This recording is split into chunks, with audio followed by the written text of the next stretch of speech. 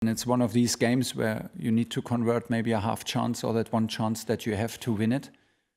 If the opponent does, what can always happen, um, you can maybe play the same game and go out with a feeling, oh, did we do enough? But it was hard to do more. It was hard to do more without taking crazy risk.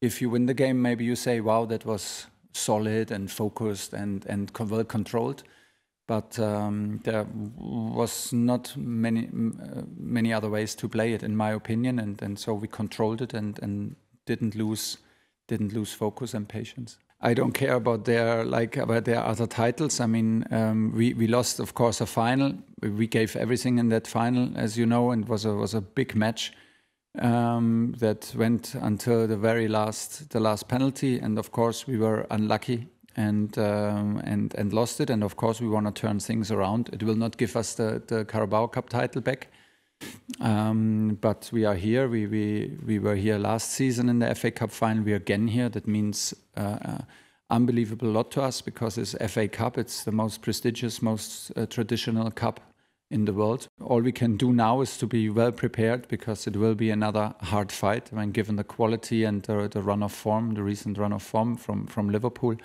it's unbelievable difficult to to beat them. But um, this is what the cup final is about. It is about winning, and and we need to try to find a win to, to a way to beat them.